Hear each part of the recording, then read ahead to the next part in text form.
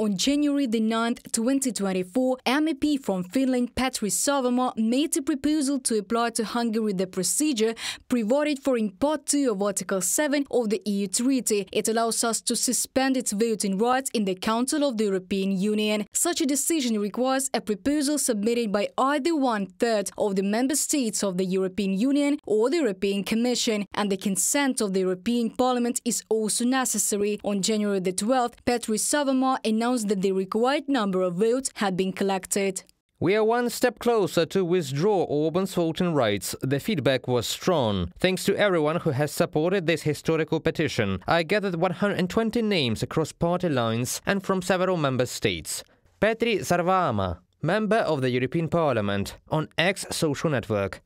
According to Sarvamaa, it is now important to assess the overall support for the petition at the plenary session of the European Parliament. EU member states are considering depriving Hungary of its voting rights in the EU Council to approve an agreement to provide a 50 billion euros aid package to Ukraine. In December 2023, the head of the Hungarian government, Viktor Orban, said that funds for financial support for Ukraine should not come from the budget of the European Union.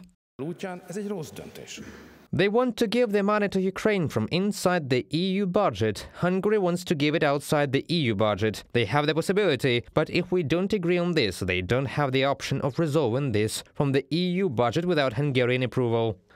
Hungary is also in no hurry to ratify the agreement on Sweden's membership in NATO. Orban refers to the reluctance of the Hungarian parliament to make this decision. At the same time, in his speech in parliament, he noted that ratification of Sweden's application to join the alliance was not urgent. Washington is concerned about the position of the Hungarian prime minister, first of all with regard to assistance to Ukraine. As for Sweden's membership in NATO, Budapest promised that it would not be the last in the EU to ratify the agreement, the US State Department said. We are disappointed that Prime Minister Orban has chosen to stand alone in the European Union in questioning whether to support Ukrainians who are asking for the very same freedom that he asked for when he was a young student. The point on Sweden's accession. We'll see if Hungary follows through on that promise as we move ever closer to Sweden joining the alliance, which I hope will be soon. James O'Brien, Assistant Secretary of State for European and Eurasian Affairs, from a statement on the US State Department website.